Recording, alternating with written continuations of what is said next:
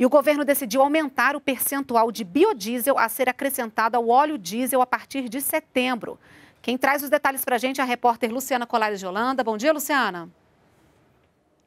Olá, Renata, bom dia para você. É isso mesmo. Bom dia para você que acompanha a TV Brasil.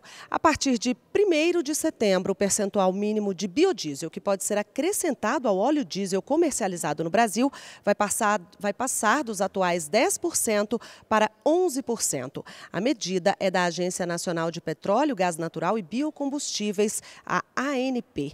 E o presidente Jair Bolsonaro comentou sobre esse assunto nas redes sociais. Ele destacou que o biodiesel é produzido no Brasil com mais de 80% de soja, o que representa mais emprego no campo, redução de importação de diesel e menos poluição.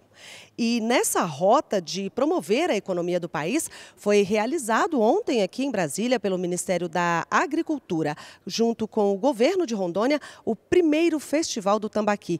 E olha, teve até churrasco de peixe aqui na esplanada dos ministérios. Tudo isso para incentivar o consumo de pescado no país e impulsionar esse mercado. Vamos ver na reportagem.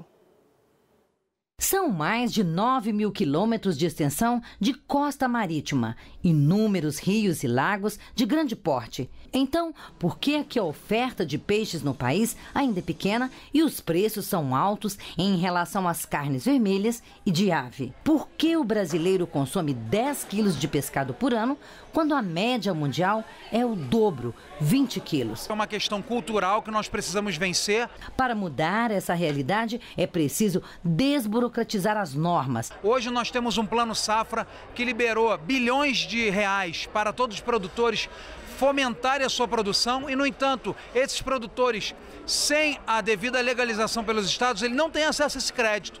Então ele quer produzir o governo federal põe à disposição recursos para ele e as legislações é, estaduais são impeditivas. A Organização das Nações Unidas para Agricultura e Alimentação prevê um crescimento de quase 50% na produção da pesca brasileira até 2030. Os esforços para isso já estão na rua, literalmente.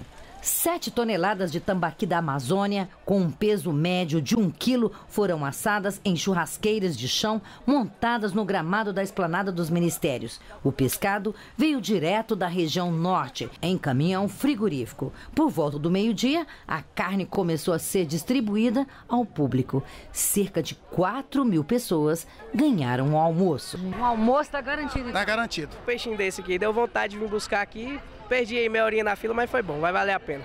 Além de estimular o consumo de pescado entre os brasileiros, o governo de Rondônia quer divulgar o tambaqui, peixe rico em proteína e um dos principais produtos de sustentabilidade do agronegócio do estado. Aqueles que ainda não, não, há, não provaram o tambaqui possam provar, aprovar e ele também ser inserido na dieta dos nossos, do nosso povo brasileiro. O Brasil precisa entender que tem realmente de consumir mais peixe.